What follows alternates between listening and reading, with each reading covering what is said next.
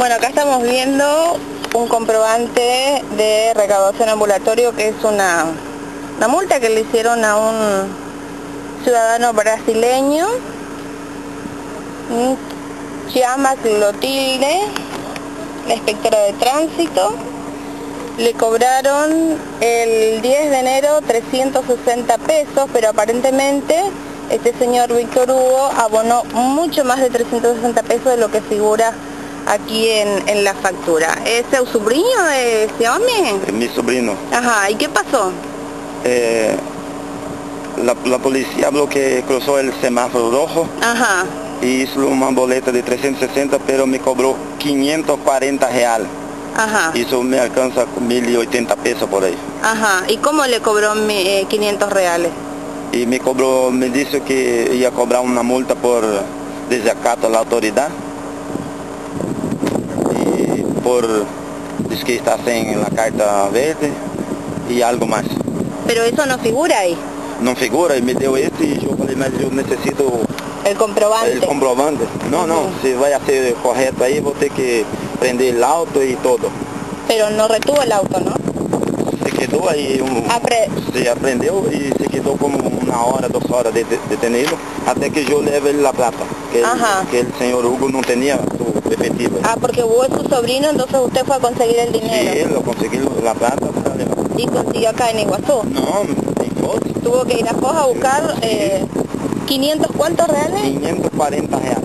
¿Y yo, no... yo le di 550 y me devolví 10 reales. Ajá. No, no le dio ninguna otra factura. Nada, nada. ¿Era una señora, una chica? Una chica. ¿Cómo es la chica? Un poco grande.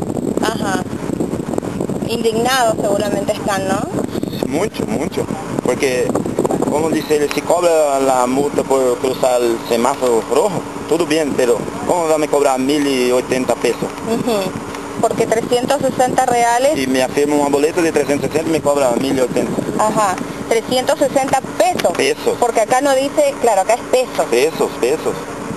O sea que sería 100 reales y algo. Creo que más o menos 180 reales. Sí, sí. Le pasé 200 reales y no quiso. No, 540, 540. Qué bárbaro.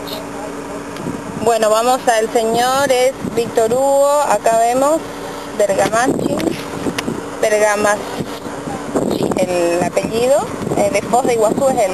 Él eh, está viviendo en Brasilia, es un un señor que es capitán de ejército y tenía que estar en, su trabajo eh, cuarta-feira próxima, por eso que no quedó el coche detenido, que yo quería que dejase para hoy.